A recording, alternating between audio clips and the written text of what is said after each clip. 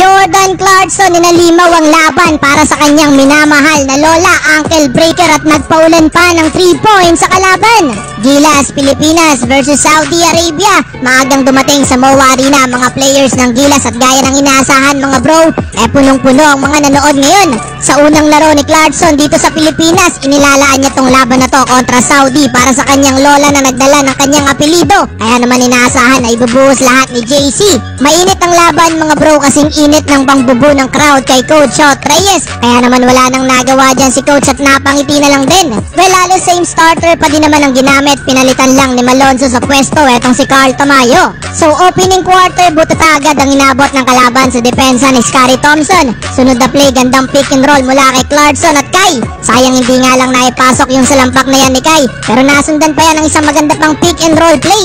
Under 7 minutes dito na unang nakapunto si Jordan Clarkson. Hiyawan ng lahat ng maipasok niya ang long 3-pointer. Though mainit din ang opensa ng kalaban pero another long 3-pointer para kay JC. Buhat na buhat ni Clarkson ang opensa ng gila sa first quarter sa 11 points natin. Siyam doon ang kinana ni JC. Kabilang doon ang isa na namang long buzzer beater 3-pointer ni Clarkson. 14 to 11 Saudi up by 3 points. Second quarter mga bro wala tamong ayaw magpatalo ni Clarkson. Patuloy ang pambibismo dito sa opensa. Bago ilabas under 6 minutes, umambag pa to ng 5 points at naibigay na din sa gilas ang unang tikim natin sa kalamangan. Pero kung si Clarkson sa opensa, namiesta naman sa Blanca etong si Kai Soto. Under 7 minutes mga bro na iwanan ni Clarkson ng bantay. Sabay gandang pasa pa din ang nagawa niya para kay Kai Soto. Well, hindi na nakalamang ulit dyan ang kalaban. Mas uminit palalo ang iyawan mga bro ng i-posterize dunk ni Dwight Ramos etong kalaban. Na-posterize na, tinitigan pa ni St. Dwight. Natapos ang quarter mga bro sa isa na namang 3-pointer ni JC. Pang-apat niya na yan sa first half. Kaya naman halos mahigita ni JC ang ginawa niya sa first half kontra Lebanon with 17 points. End of first half mga bro, Gilas up by 9 points, 37 to 28.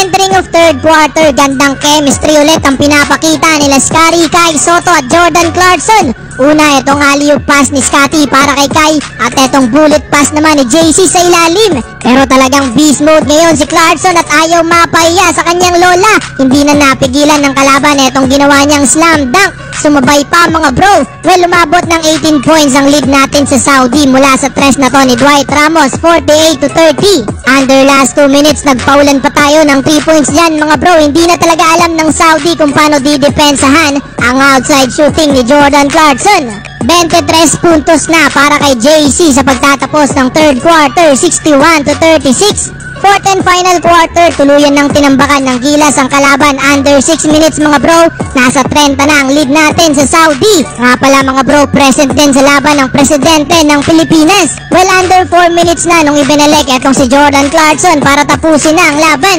Isang magandang setup na naman ang naibigay niya para kay Kai Soto. Kaya naman sa dulo mga bro, nakakuha na din ni Jordan Clarkson ang una niyang panalo para sa FIBA kung saan nakapagdalasan ng 23 points, 5 rebounds, 6 assists. Hindi napaiya sa kanyang lola itong si Clarkson, 16 points at 13 rebounds naman para kay Kai at 9 points para kay Dwight.